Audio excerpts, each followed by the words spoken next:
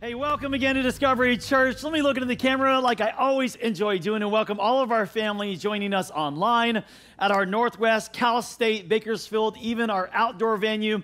Come on, welcome everybody, church, wherever they're at today, Southwest. Come on. We're in the fourth installment of this series called The Names of God. And I've just um, been enjoying the study of this series and helping you get to know God intimately, personally. This is the way God always intended to be known, not just as some distant, far away, abstract person, but He wanted to relate to you very personally. And all throughout the scriptures, He did. He showed up and revealed Himself specifically to us so that we can relate to Him personally. And in this series, we're getting to know a very personal God, a God that you can invite into your personal life situations like, like Jehovah Saba, the Lord of heaven's armies, that when you come up against a battle and you come up against forces of darkness, you can be confident that you're stepping into that not alone, but you got an angelic army and a God who is a general, who is a commander of those armies fighting with you. Can I get an amen, somebody? That, make, that just allows you to fight different when you know this God. Last week we talked about Jehovah Jireh, the Lord our provider. That you got to let go of whatever you think is providing for you to experience the provision of the Lord, that His provision is better than whatever you're holding on to. Our, our theme verse in Isaiah chapter 52, verse 6, check it out with me again. God says, I will reveal my name to my people, and they will come to know His power. That was God's intention. God's intention is not just you to know Him intellectually or mentally, but that you would know the power of God. And His power is inside of His name, it's revealed inside of his name. So this week, we're going to learn another powerful name of God that I'm so excited to introduce you to because I think we need him. We need God in our life. We need, we need this God to show up in our life. And I think you're here on purpose. You're listening in on purpose because God wants to reveal himself to you as Jehovah Shalom. Can somebody say shalom? shalom. Here's what it means the Lord is peace. Okay, to anyone in here today that, that you know, I, I, don't know, is, is feeling the pressure of it all. Your, your family, the expectations, the, your work, your finances, your, your friends, whatever those situations. Anyone in here who freaked out on somebody this week? You know what I'm talking about? Anyone freaked out this week? Someone flipped out about something. You know, it was a situation, it was a person. To anyone who just kind of like came to a point where it boiled, where, where, where it kind of spilled over, you need to know this God, Jehovah Shalom. The Lord is peace. I would love to introduce him to you. We're going to get really practical in this message today, but what I want to do is show you a few Old Testament stories and then get really practical and introducing Jehovah Shalom to you and how you can experience this God very personally in your life. And I think a lot of us need him today. I think it's why you're here today. Uh, let me let me show you where this name shows up though in scripture. It's in the book of Judges, chapter 6. And I only got a few verses maybe in your handout, so let me give you the context. I didn't get didn't, didn't get all the scriptures in there to make room for it. But in this time, in the book of Judges, it's an Old Testament book, and it's in this time of Israel's history that they started to turn their back on God, or at least his principles and his ways, and, and, and that never ends up good for us. I mean, you know what I'm talking about? When you start forgetting who God is and what He said and how to, and you think you know what to do and know how to do it your way, this is where Israel finds themselves in Judges chapter 6, verse 1. It says, Israel did evil in the eyes of the Lord, and for seven years He gave them into the hands of the Midianites. So check this out God let the enemy win in the promised land. So you can be in the promised land and at the same time be out of the will of God. You can be in the place you're supposed to be, but functioning out of the will of God. So you're losing battles you should be winning. So you're experiencing defeat when you should be experiencing victory. So you're experiencing hostility when you should be owning peace. But we're out of the will of God. I'm in this I'm in the place I'm supposed to be but functioning out of the will of God. Verse 12 says the angel of the Lord appears to Gideon. And he said, "The Lord is with you, mighty warrior." Gideon says, "Pardon me, my Lord." Gideon replied, But if the Lord is with us, why has this happened to us? To which a lot of people, maybe even in here, are questioning today. Because if God is with me, and if God is this shalom, peace God, and my provider, and all these things, then, then it just doesn't add up. Because I'm because I'm in the promised land. I'm supposed to be a follower of Jesus. I'm supposed to have these things, but this isn't my real experience. So he's doubting who God is here. Why are all his wonders and that our ancestors told about when, when he said, Did not the Lord bring us out of Egypt? But now the Lord seems to have abandoned us and given us into the hand of the Midianites. Because this, so he's saying this doesn't make sense. He did it then. And he's doing it for them. I even see him blessing them, you know, but I don't see it in my life. So he begins to doubt who God is. He's doubting his power. He's even doubting who God says he is and how, what God has called him to. Gideon was afraid because he experienced not only the presence of God, but because what God was calling him to. And in verse 23, this one's in your handouts. It says, The Lord said to him, Peace, do not be afraid. You're not going to die. So Gideon, and this is what I want, I want you to do today Gideon built an altar he built an altar to the Lord there. And he called it, The Lord is Peace.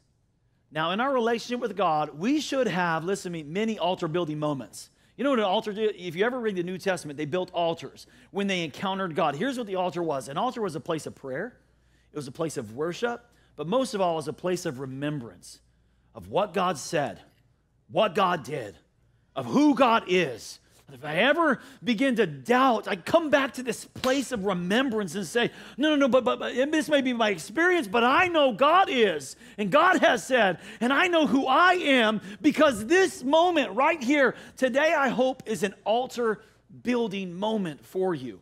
That you would understand and know this God in the middle of your pressures and, and anxieties and challenges and even crisis that are going to happen in all of our lives that we can come back to an altar moment like today and say, no, no, no. I know Jehovah Shalom. He is the God who is peace in the midst of it because what the reality is, we forget it.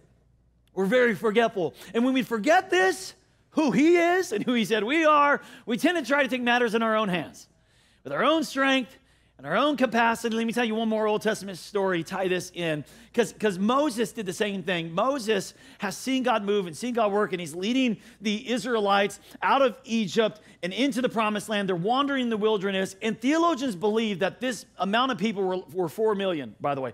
Four million people who, who of course, four million people, there's going to be fights and quarreling and drama going to happen and stuff. And there's going to be like he said, she said stuff. So what happened was Moses was the lone judge who sat and, and was an arbiter for the people. So they brought him all the problems. So every time that they would set up camp, that the pillar of cloud would stop and the fire would come and they would set up camp and they would stop, Moses would sit in the judge's seat and the people lined up and they brought Moses, the lone judge, all the problems, all the disputes, all the dra- uh, drama, and he was the only one dealing with it. So you got to imagine this line has got to be long, dude. And it was like a never ending thing, is no matter how hard he worked and how fast he tried to do it, that line just kept growing. So in Exodus chapter 18, verse 17, Jethro, his father in law, comes along and says, Moses, what you're doing is what?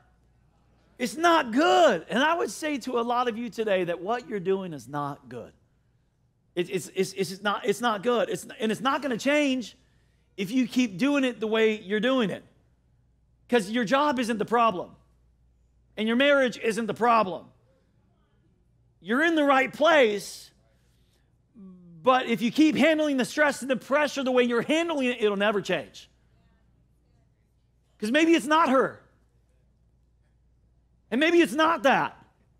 Maybe it has nothing to do with the place, but the way you're carrying the weight that God has given you is actually the problem. So, so what the, the, way we're doing it, the way we're, hey, the way we're doing this is not good. Like you're going the right way, and you love Jesus, and He gave you that person, and He gave you that job. You you were so grateful for her just last year, and now no no no. Now maybe it's the way that were carried. So he says, This is not good. You and the people with you will certainly well wear yourself out. For the thing that you're carrying all by yourself is too heavy for you. You're not able to do it alone. So, what is God's remedy? God's remedy is not to remove the whole thing from you. Oh, yeah, let me just go ahead and take that off your shoulders. No, he gives them a better way to handle the pressure. You can go read the prescription of it in Exodus chapter 18. He actually tells them to delegate, man, and start to get some people around you to handle it. You stop handling all yourself. But, but here's what he says in, in verse 23, and I hope today by the Spirit of God, you receive this today in your heart. Some of you need to know this God. you need to know his peace, not, not the peace that the world gives, but his peace that is surpassing all understanding. Here's what it says, verse 23 If you do this, the key word is if. Like, I'm gonna give you some principles, some very practical principles to experience Jehovah Shalom. Like, they're through his word that you can experience this kind of peace, his shalom peace. It, the key word is if, though is if if you do this, God's going to get involved in it. God will direct you and he'll be able to like you're going to be able to live in the same stuff, the same situation. We're all living in the same world in the same stuff, but you're going to be able to handle it with a different capacity. That you'll you'll endure, you will be able to endure and all these people with you will go to their place in peace. So God doesn't take away the troubles and he doesn't take away the the drama, but he does promise you an abundant peace in the middle of it. So let me give you an equation that we're all dealing with. Every one of us are dealing with the same equation today, right now. We all are dealing with this. Here's the equation when your pressure exceeds or is greater than your capacity, that's where stress and anxiety comes from. When your pressure is greater than your ability to endure it, to carry it, that's when I experience stress and anxiety. God, the bad news is this ain't nothing gonna happen about the pressure side of the equation. Pressures will always be. You're gonna have troubles, you're gonna have trial, you're gonna have pressure. The good news on this side of the equation is that God actually can do something about the capacity part. God wants to, desires to increase your capacity through the power of his presence that that that you would be able to to endure the pressure and not experience the stress and anxiety, but have his shalom, his peace. Okay? Let's go to the New Testament now, and then I'm going to get really practical here. New Testament, Jesus talking in Matthew chapter 11, verse 28 through 30. Jesus says, Come to me. And I love this because he's like, hey, when you're tired, tired of handling this the way you're handling it, and the way you're trying to do this in your own way, in your own strength, Moses, just, just trying to handle all yourself, when you're finally done trying to do it yourself, come to me. It's an invitation that he's giving us today. And I'm going to give you an invitation. I'm, five of them, in fact, five ways, five that you can experience Jehovah Shalom in your life. And it's going to be your decision whether you are going to build an altar today and trust him and come to him or not. So Jesus says, Come to me, all you who are weary and burdened, and I will give you rest. And and now Jesus doesn't invite, it, the invitation is not, because you would think after he says this, it's like, here's a recliner, by the way, put your feet up and I'll go fight your battles. Don't you, don't you worry about it. I'm in charge. No, that's not what he does. That's not what he does at all. Jesus doesn't remove, he doesn't take anything off you. He actually puts the right thing on you. So he goes, Come to me, all you who are weary and burdened, and I'll give you rest. And then he says, No, I'm not going to, I know you're burdened and heavy, but that's not solution. He goes, he goes, No, I'm not going to take it. I'm actually going to put a yoke on you. I'm going to take my yoke on you. So I'm not going to remove the pressure, your burden, and you're weary, and you're heavy. No, that's not solution. The solution is take my yoke upon you and learn from me. So you're going to still have to go through life. You're still going to have to handle the pressure. You're not going to be able to quit your job. You're not going to be able to quit your family. You're not going to be able to quit your fellowship. You're not going to be able to quit the things that are actually causing you pressure, but Jesus says, I can give you a different way to handle it. Here, put this on. You know a yoke is? A yoke is um, was this big wooden instrument with two holes in it that was put like on oxen. And it would help these oxen, two of them, plow together. There was metal rings on the outside that a farmer would hold and, and make sure that these, these oxen are plowing down the field uh, together. That word yoke, though, when you look at that Greek word that Jesus used, it wasn't, it's not the, you know, the Walmart version, one size fits all yoke, okay? It, it, it is, what, what it means literally is this well managed, custom fit yoke. That's what that word means. And Jesus is a carpenter, so he would know about these things. This kind of yoke was used of farmers that love their animals and would bring in a carpenter to specifically measure the diameter, width, and shape of the animal and then custom make a, a yoke for that animal so that so that when they are plowing, it's not getting bruised and bleeding and, and beat up by something that just doesn't fit right, that this is a perfectly custom fit yoke for them that, that they will do you're able to do the same amount of work but at the end of the day at the end of the week at the end of the month at the end of the year yet another year you're not weary burdened and ready to give up on it. You have a so you're doing the same work but without the same amount of problems and troubles same amount of damage being done to yourself because you have his yoke on you a well-managed custom fit yoke he says learn from me for i'm gentle and humble in heart. And you will find rest. Look what he says rest for your souls, not rest for your body. He says rest for your souls. Because rest isn't just kicking back, taking it easy. I like it. Don't get me wrong. I like a nap. I'm going to take one today. Okay? But he's, he's, he's not saying this is rest for your souls. Rest, the rest he's talking about here, which when we, we'll look at shalom in a moment, another uh, inside of this beautiful word shalom is actually a, rest, true rest. So, what Jesus is inviting when he says, Come to me and I'll give you rest, he's talking about shalom. This is Greek in here, so it wouldn't translate over, but he's talking about, Come to me and I will, you will experience. See, rest is not, rest is the condition of your soul. So that you can go through the same troubles, the same pressures, the same challenges you had this year, you're going to go through some similar ones next year. I don't mean to be a, a doom prophet on you or something like that, okay? But you're going to go through some troubles, man. You're going to go through some difficulties, some finances, some relationships, some friends are going to try to walk away from you. You're going to go through stuff throughout life, but but after you put on this yoke, you're going to go through it without the bruise and bleeding. With with a new capacity to handle it. That at the end of it, you could say, "It is well with my soul." Yeah, no, no, I, I get it. I'm still going through the same stuff, but it is well with my soul. For my yoke is easy, Jesus says, and my burden is light. So I look throughout the scriptures where God invites us into this, invites us into experience his peace. Remember, Jehovah is his, his relational name, this name that we can, a person we can experience. And God wants us to experience his peace. I'm gonna give you five ways for not not for your stress to go away. I'm not going to give you five ways for the pressure to be diminished, for the stress to be removed, for the, you know, the disaster to be averted. No, I'm going to give you five ways that in the middle of it, you could have shalom. You can know peace. So we can experience Jehovah Shalom when, write these down. Number one, when we allow our bodies and our minds to recover. See, the truth is, you have, a lot of you have the ability you're just not taking the time to recover.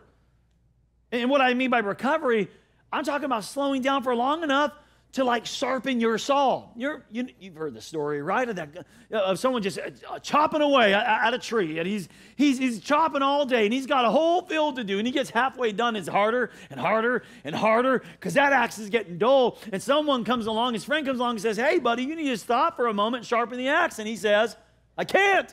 I got too many trees to chop down.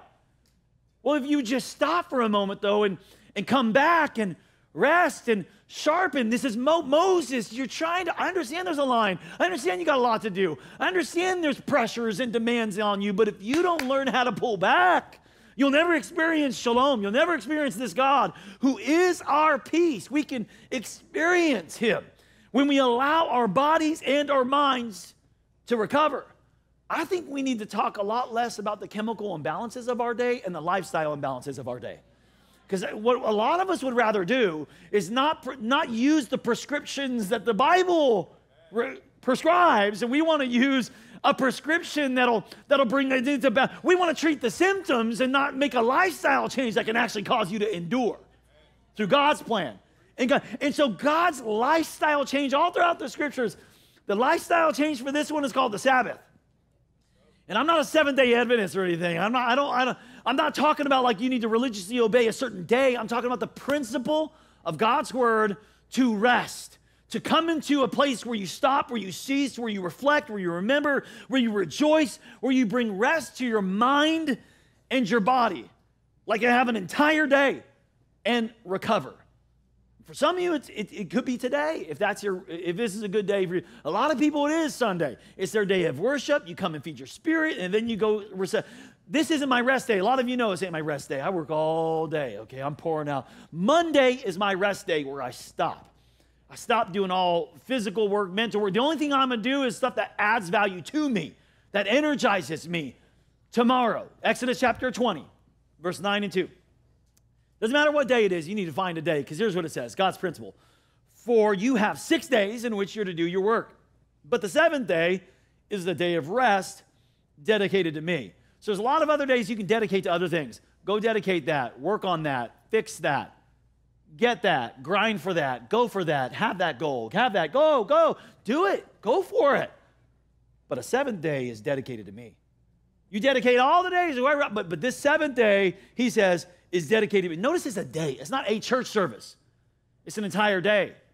So you don't come and feed the Spirit, but then go, you know, I think you ought to eat good on your Sabbath, eat some good meals.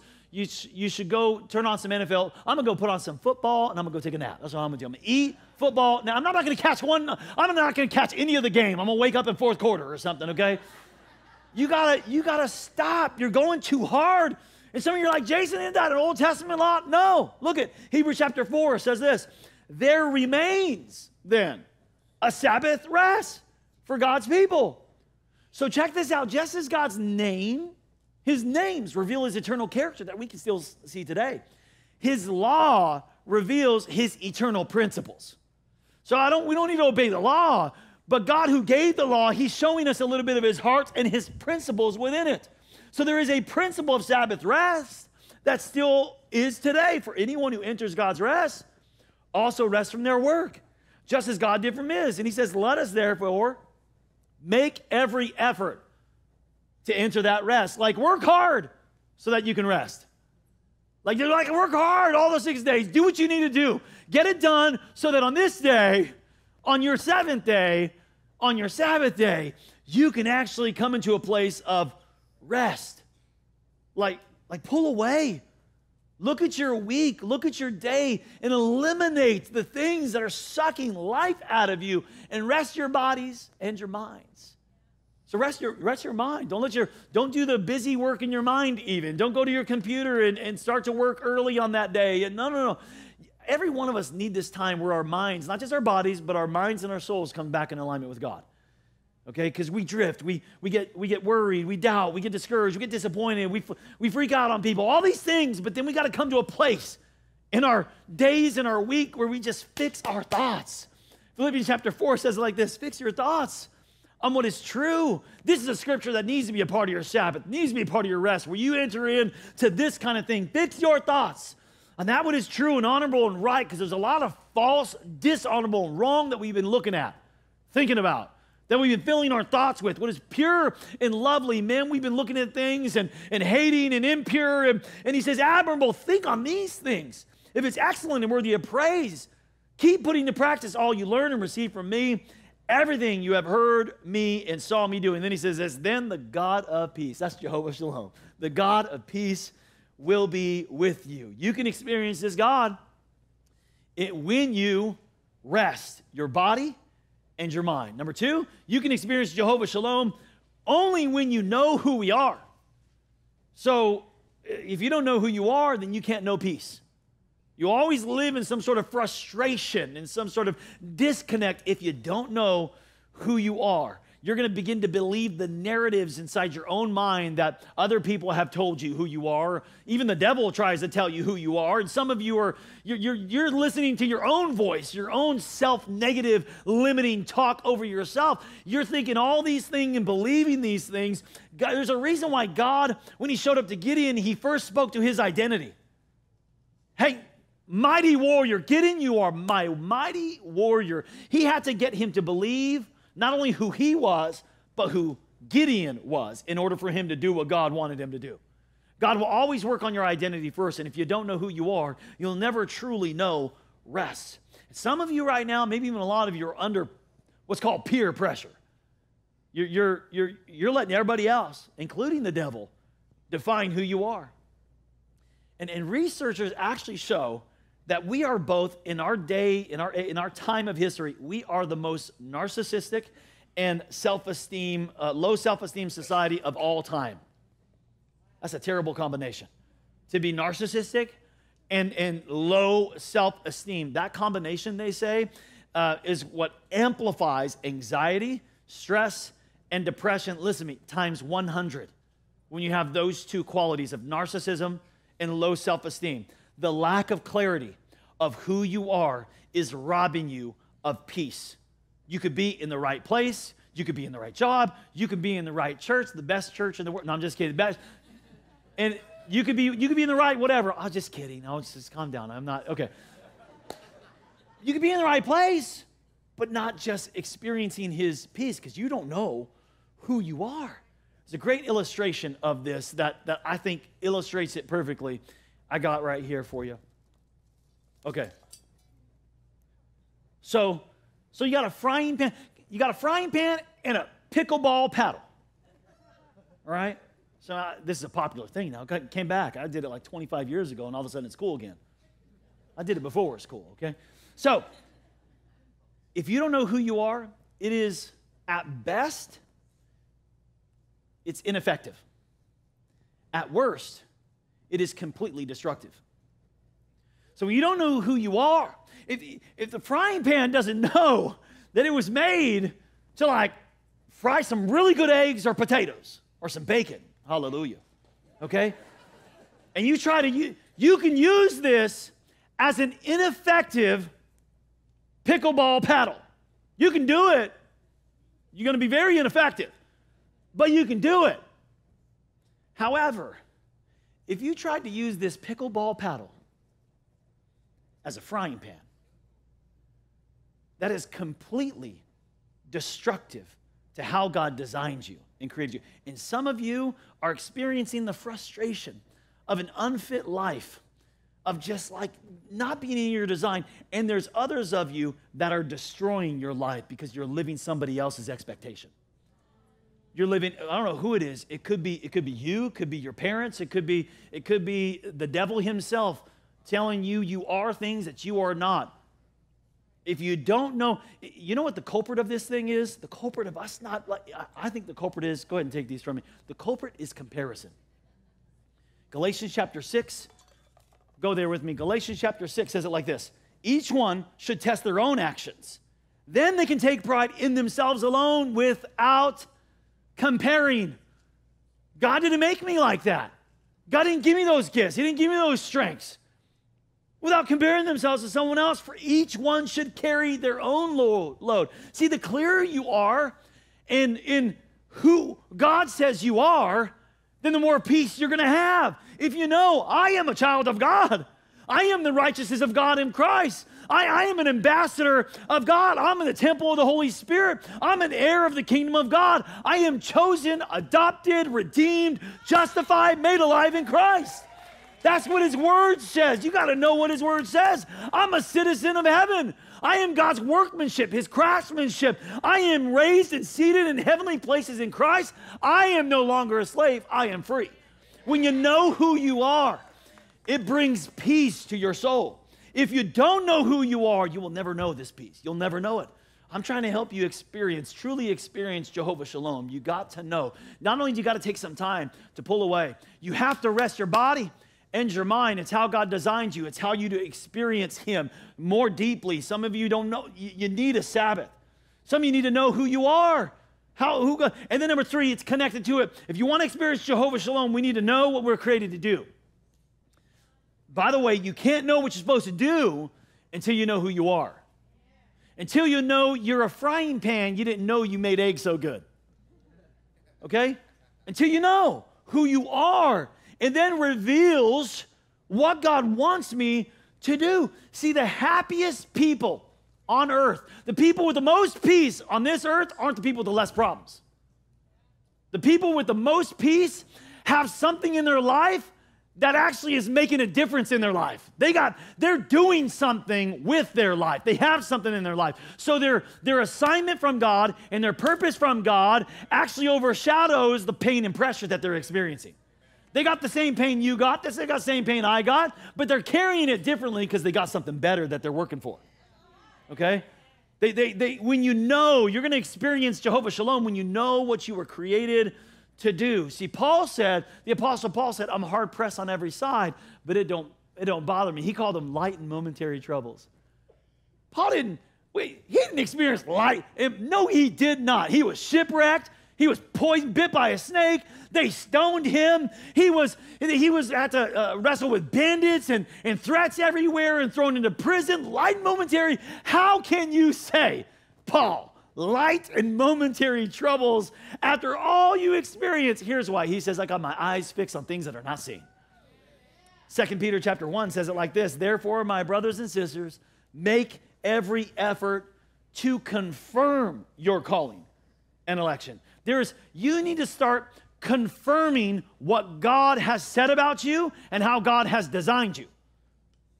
Okay, that's why, this is why every week you hear the same announcement here at Discovery Church. It's, it's like get on the Discovery track. Hey, go to the Discovery, the Discovery track. You, you need to know the Discovery track. Uh, it's the best way. Here's why that announcement keeps coming up this Discovery track thing here at Discovery.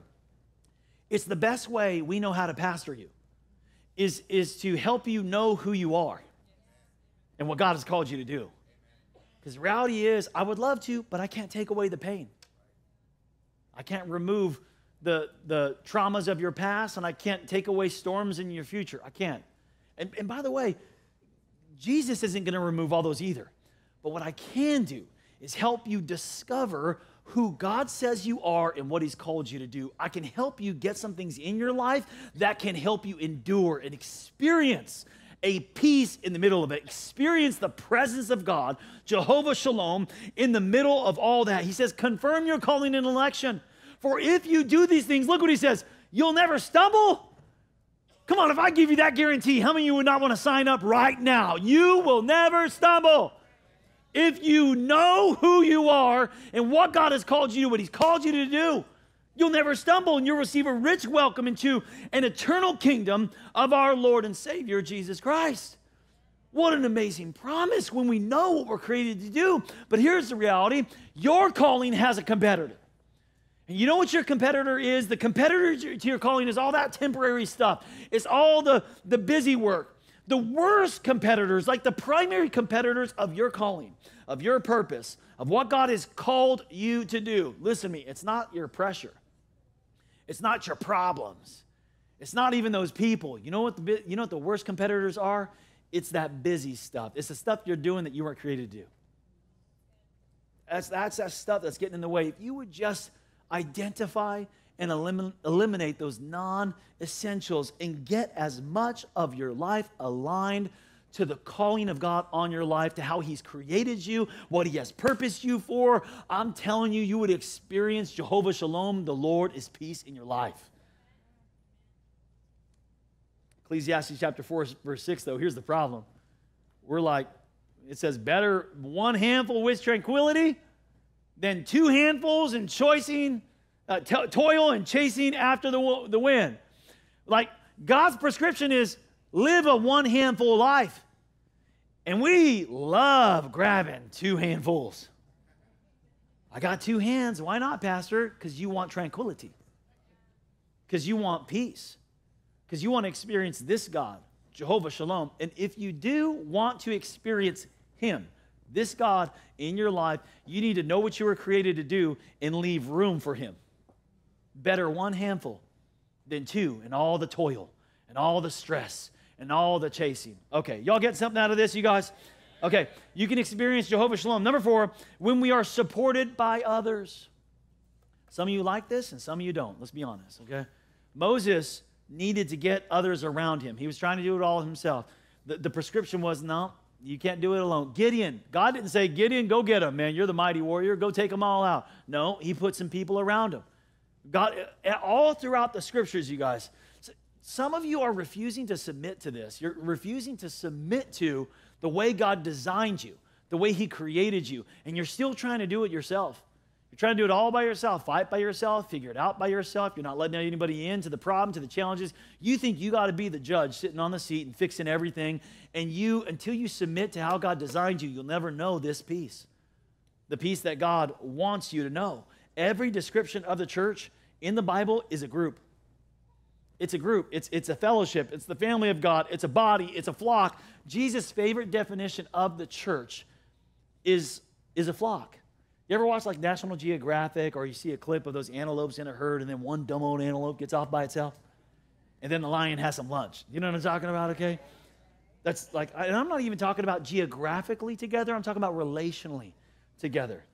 The studies, the studies as I was researching this, uh, you know, many different sermons I've done, but again, just reviewing that, isolation is the number two, in some studies, the number three cause of, of anxiety, stress, and depression. Isolation. Many of you are feeling isolated today. You got people all around you. You got 164 groups that you can sign up for. You got amazing community. You got people you're working with. You got family that live just 20 minutes away, but you're feeling isolated. So I'm not talking about geographically, but relationally. We're not being supported by others. And the Bible talks about this in Ecclesiastes chapter 4. It says, There was a man all alone. He had neither son nor brother. There was no end to his toils, there was no end to his stress. But his eyes weren't content with his wealth. He said, Okay, if I'm, you know, here's the solution I'll just make more money, I'll just get more stuff. And the Bible says, No two are better than one because they have a good return for their labor. If either of them falls down, one can help the other up, but pity the one who falls and has no one to help him up. In other words, the pressure is still going to be there, and you're even going to get knocked down at times, but God has will give you capacity when you have other people around you to help you endure through it. Also, if two lie down together, they can keep warm. But how can one keep warm though, look what he says, though one may be overpowered, and I hate to say this to you, but some of you right now are being overpowered by things that, that you were meant to conquer. And, and there are things, by the way, that aren't going to change. I can't change it, and God's can't, God can't change it. He's not going to. I'm not saying He can't. God is going to change it. He says, one may be overpowered, but two can defend themselves. And a cord of three strands is not quickly broken. God says, it's still there, but guess what? I am going to get you around people to actually carry it with others. So you don't have to carry it alone. Jesus says it like this in Matthew 18 30. For where two or three gather in my what? In his name. There I am with them. This is how you experience this God. It's, it's, and some of you are resistant to this. Some of you are more accepting this, but some of you have been resisting to getting support from others. You've gone through some things in your life that you've never told anybody. And that's just been a routine, routine thing for some of you, whether it's a tough week that you had that you just swallow down and tough it out, or it's the thing that someone did to you when you were 12 years old. And, and until you can, you won't experience the depth of Jehovah Shalom until you get other people in your life. Jesus says, This is me, I'm right there. I'm in the midst of that. That's the way I designed you, that you would experience me. When two or three of you gather in my name, get in a group. It's how you were designed. And you, I, you, don't need another thing to do, and I'm not trying to prescribe to you another thing to do. I'm trying to get you into a place where you can be honest, work some stuff out, carry it with some brothers and some sisters. I can't promise you it's going to be better. In fact, prophetically, the Bible says it's going to get worse. But you can know Jehovah Shalom, God our peace, in the middle of it. And most importantly, here, here's the fifth you can experience Jehovah Shalom only when you invite God to actually help you. Because some of you, listen to me, some of you love God. You might even love His Word, you love worship and all these things, but yet to invite Him in to be your peace in the middle of your storm. Like what I'll tell you like Jethro told Moses again, what you're doing isn't good. It's not good. Can't handle this alone. And I said all that just to lead to this this one point right here that you have to invite God to help you. I I was talking to someone recently and they said, I just don't think God's helping me out with this thing. They had something they were going through. And I started just this conversation, asking them questions about their faith, and, and come to find out that this is how they primarily described God. This is who God was my helper, my friend, which is that, that's his name. The Holy Spirit is a helper. And Jesus did call, he said, No longer I call you slaves, but I call you my, my friend. Listen to me, but before he's friend, he's Lord.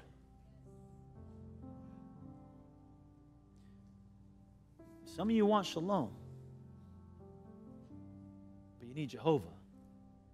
You'd love to leave that part out and just get the peace. Isaiah 9 6 says, And his name will be called the Prince of Peace.